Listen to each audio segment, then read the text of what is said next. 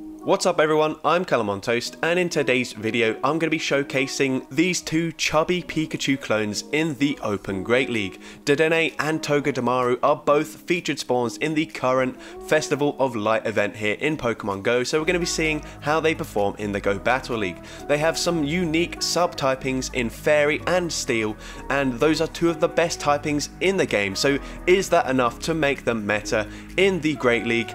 I'm going to tell you right now that they are brilliant core breakers to quite a lot of teams, but unfortunately in the Open Great League meta, as things stand, there are so many Pokemon, common Pokemon, very meta Pokemon, that absolutely wall the electric typing, meaning it's very difficult to run these Pokemon, and especially not when you're running them both on the same team. You'll see in the background here that a lot of the teams that I went up against had two or even three Pokemon that were extremely strong up against the electric typing.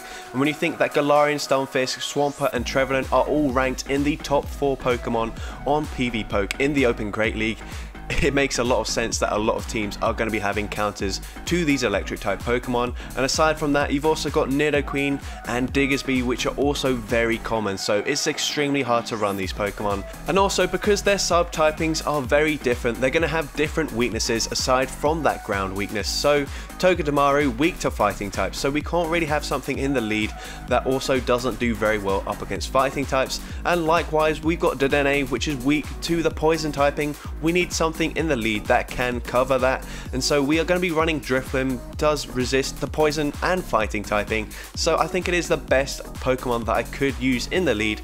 Unfortunately, it still does lose to Pokemon like Trevenant and Stunfisk, but it can put up a fight. So that is probably the best thing that I can have in the lead. It's very difficult to cover all the weaknesses of the Pokemon in the back. And I'm going to tell you now that this team didn't perform very well, but I did get some insane wins, which I will be showing in this video. And on top of that, I actually made quite a lot of really bad mistakes that I'm also going to include because you guys can learn from it. I'm certainly going to learn from it and I hope that this will be able to help you.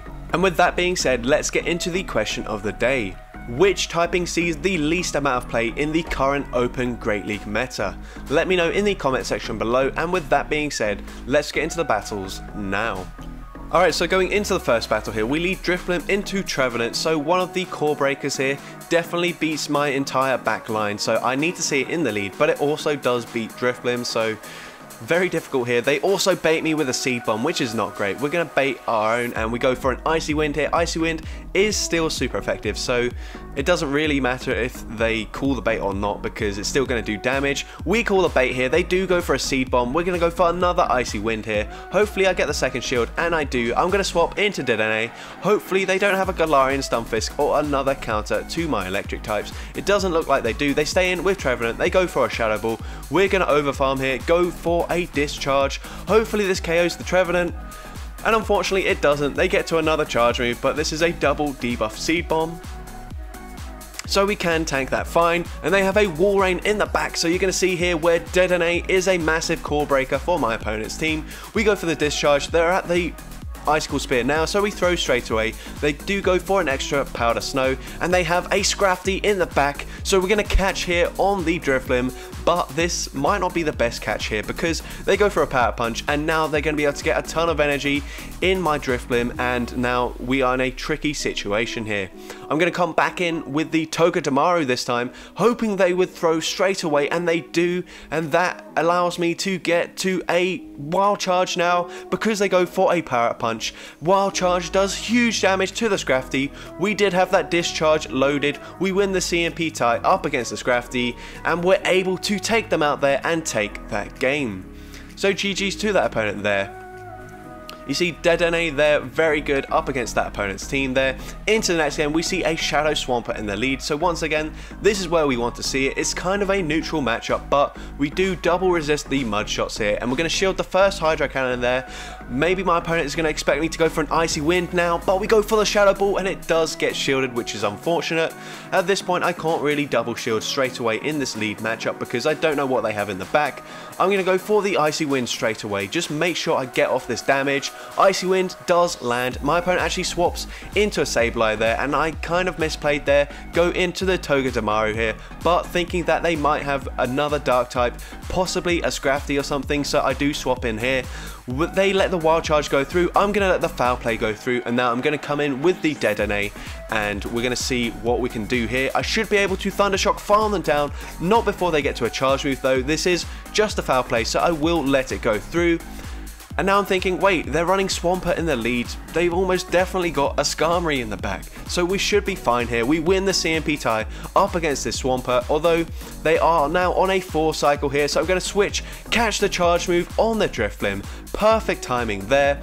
Hydro Cannon takes us out. We're going to come back in with the Dedenne there. We overfarm as much as possible. They come in with their Skarmory here. Two discharges will be enough to take out the Skarmory. So I'm going to overfarm as much as possible. Go for the second discharge here. And we are one Thundershock away from the next move and we do get there up against this Swampert and we're going to be able to take out the Swampert and take that game. So GG's to that opponent there. And into the next game here, we're going to lead Drifblim into Nidoqueen here. So once again, this is exactly where we need to see it. they say swap into a Zangoose. I thought it was going to be a Lickitung. So I swap into the Togedemaru, and unfortunately, this is going to be a losing matchup here. They bait me with a Night Slash. It doesn't matter. That would have still done huge damage. We go for a bait of our own. Go for the Wild Charge. We lose the CMP tie. I'm going to call the Night Slash here.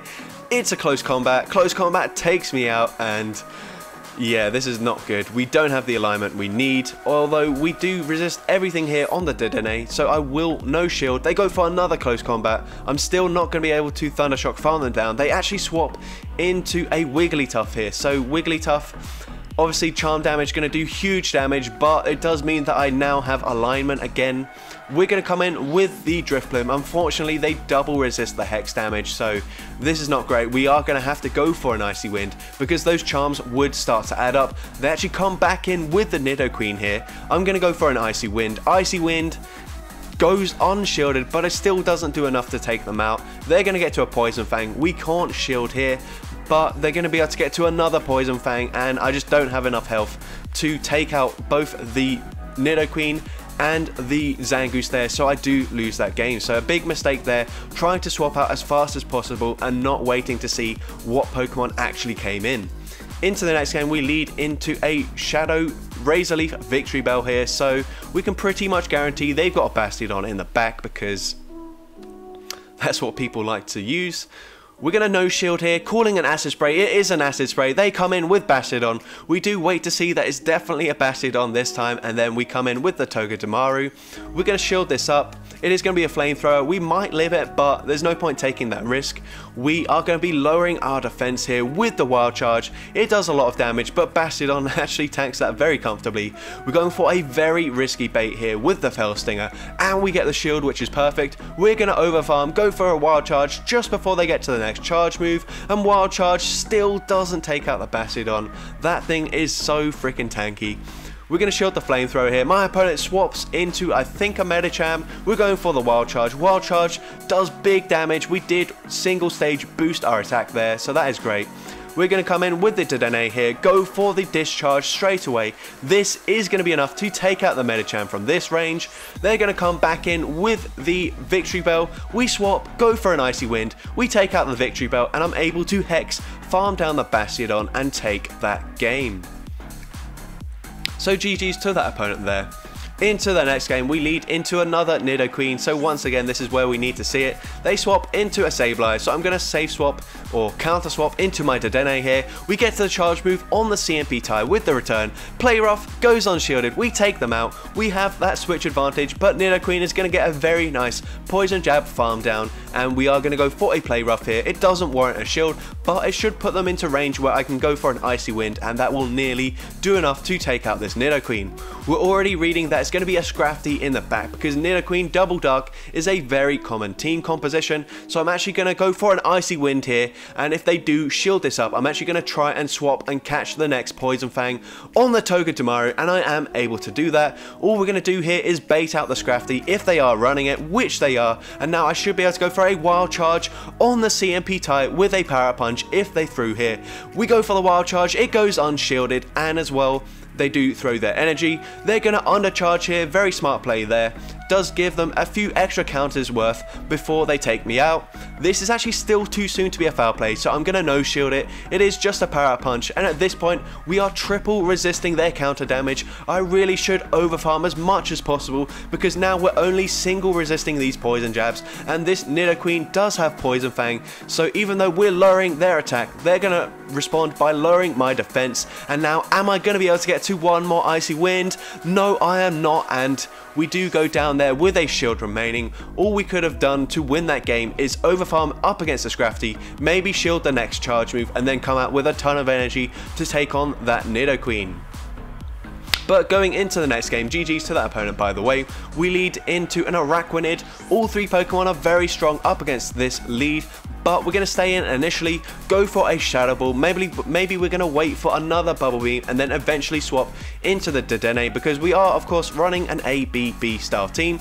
We're actually going to go for another Shadow Ball here, maybe not the best play because we are double debuffed at this point. We're going to swap into the Dedenne now, catch the charge move,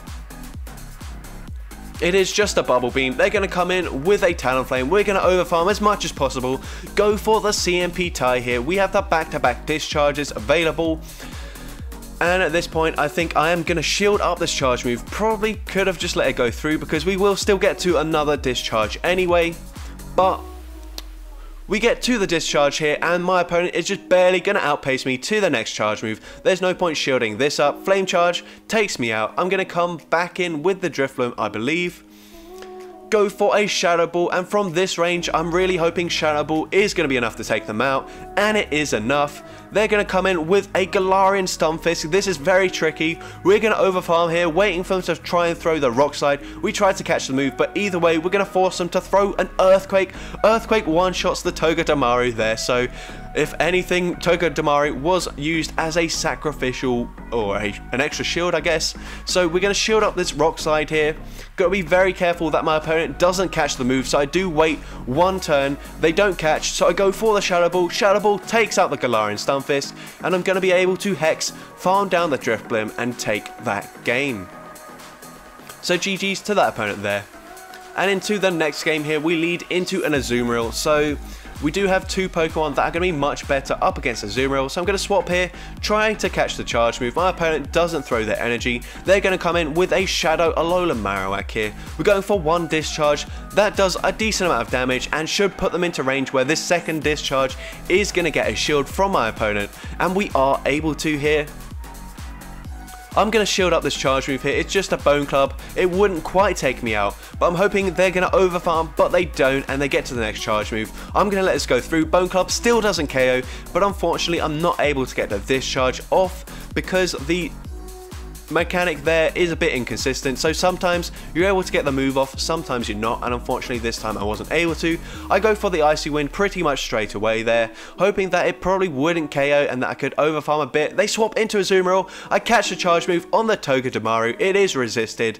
I'm going to overfarm here, this should just be another play rough, or maybe even an Ice Beam. They go for the play rough. We're going to keep on overfarming here, go for the Wild Charge. We have the back-to-back -back loaded. This first Wild Charge takes out the Azumarill, the second one is going to do massive damage, all get a shield versus Sableye. They actually let it go through, which is perfect because I have enough energy where I can go for the back-to-back -back Icy Winds. The first one is going to be getting the shield from the Sableye, and as long as they don't have the back-to-back, -back, we should be fine. I'm not really sure who wins CMP in this matchup, but they don't have the back-to-back -back anyway, so I can go for a second Icy Wind.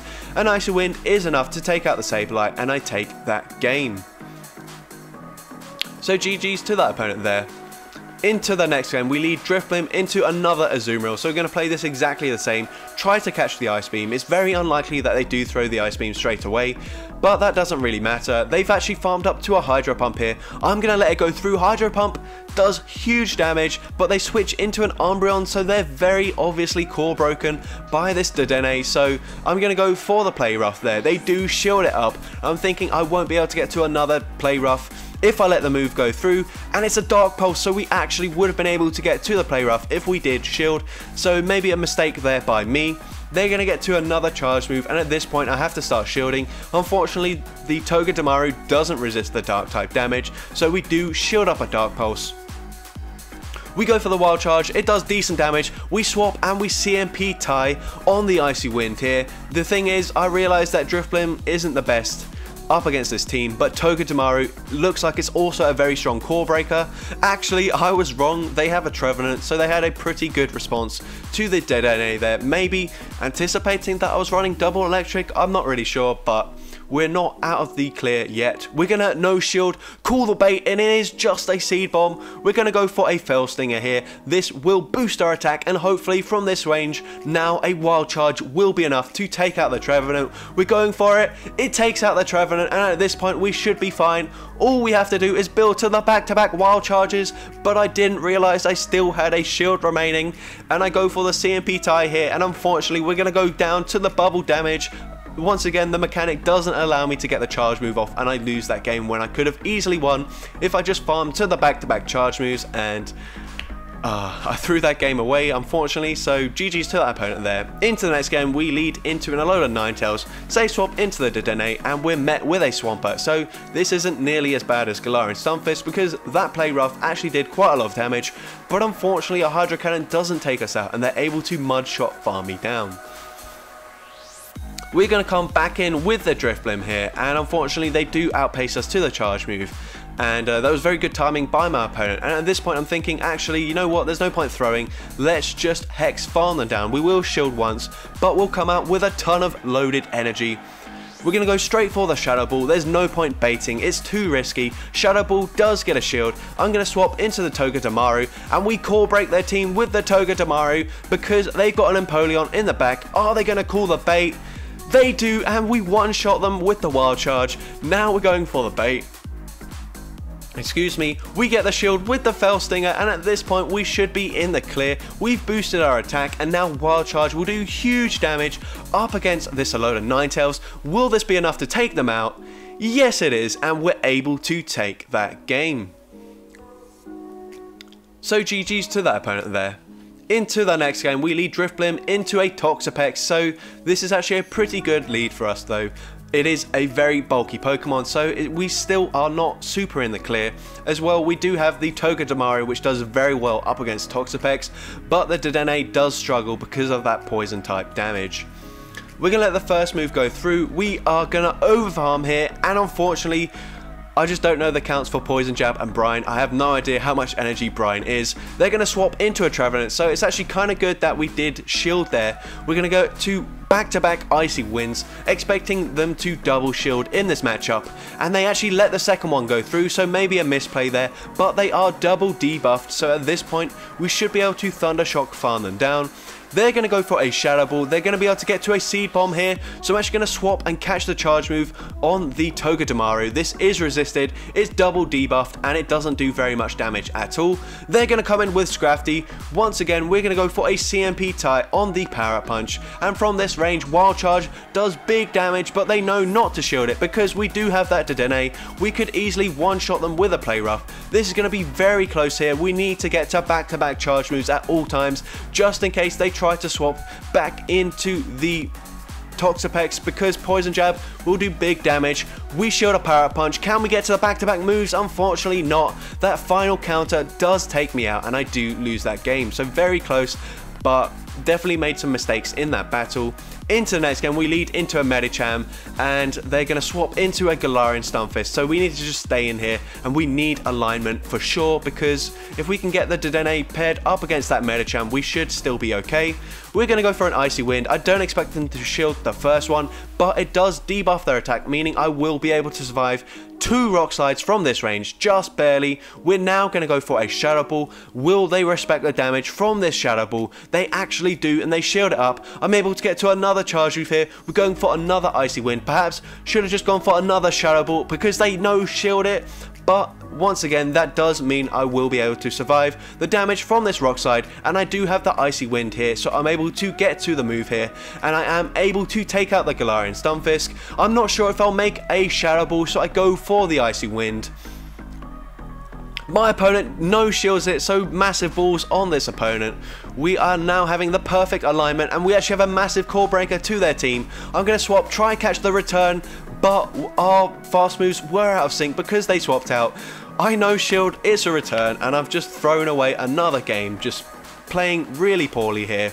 All I had to do was either swap and catch the move or just shield up the charge move. We know we had a really good matchup there up against both Pokemon. We're going for the wild charge, it gets shielded, we need to overfarm but unfortunately they're at another foul play. And foul play up against my debuff defense easily enough to take me out and I do lose that game. So GG's to that opponent there. Into the next game, we lead into a Swampert. So, as usual, this is where we want to see it. We're going to overfarm here, allowing my or my opponent allowing me to get a full hex through there for free. We're now going to go for a Shadow Ball. Hopefully my opponent does let this go through, and they do, and now they're in range for me to Hex farm them down. We're going to let the second Hydro Cannon go through, and we're going to see what we're met with here. They come in with Bastiodon, so I'm going to swap, save swap into the Dedenne here, Really hoping that they switch out of this matchup, but they don't, and it looks like they are going to just go for the charge move here. I will, I will be able to survive a Stone Edge and get to another discharge here, but this really isn't going to do an awful lot of damage to the Bastiodon. It's a very bulky Pokemon, and they're able to farm me down.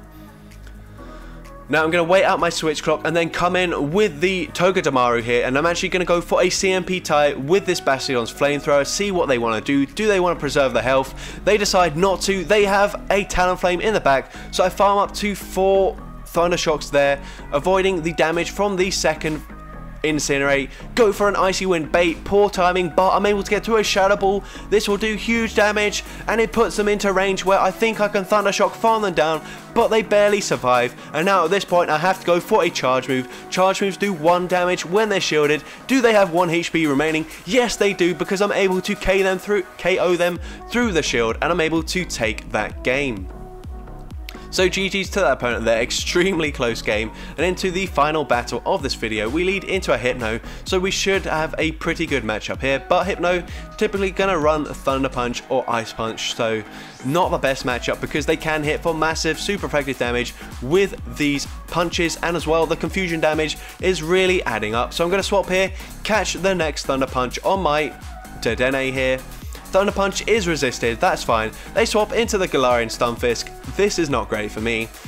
We're going to no shield here, it's just a rock slide, but unfortunately this does mean that they're going to be able to fully mudshot farm me down, which is the worst case scenario. I would prefer if they just went straight for the Earthquake, because now they're going to come out with a ton of loaded energy, and these play roughs are going to put them low enough that I can take them out with one charge move from the Drifblim, but this is not great. And we actually had an icy wind here. We could have thrown it here and then made sure that the rock slide wouldn't take us out. But now we are going to throw the rock slide here, or the icy wind, sorry and that does debuff their attack. I'm really hoping I'm going to be able to get to another charge move here up against the Stunfisk. Can we get there? Unfortunately, we die on the charge move, and that is going to be game over. I just concede the match there, nothing I could do.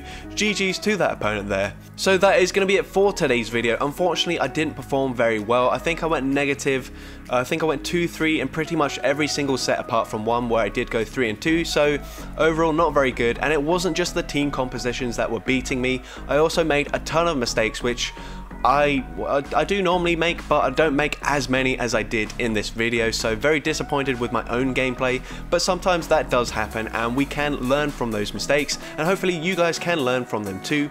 But if you did enjoy today's video, then make sure you leave a like, leave a comment letting me know, and as well don't forget to respond to the question of the day if you haven't done so already. And if you want to see more content like this in the future and you're not yet subscribed, then make sure you hit that subscribe button, turn on post notifications so that way you're notified whenever I upload a new video. And with that being said, let's get into the shoutouts from my previous video. So firstly, we've got RF who says definitely Chandelure. It's been featured a bit in the Master Premier Classic and it's one of my favourite Pokemon to use in that cup. It's extremely squishy, a non-stab rock slide from G-Fisk does over 80% of his health, but with shields up it's an absolute wrecking ball and with a shield advantage Chandelure is almost unstoppable and I actually have one built for all three leagues. I think it's really strong. Unfortunately, yesterday's community day really doesn't help it out because Poltergeist just isn't a very good move. You're definitely going to prefer Shadow Ball or even Energy Ball on the Chandelure. Next, we got Not Cyclo who says Shadow Lugia sounds like fun and a spicy Pokemon to run in the Great League or Ultra League. And finally, we got Richard Barker who says I think Melmetal in the Great League is highly underrated, especially with Hyper Beam. So with that being said, thank you all so much for watching today's video and I hope you have a great rest of your day.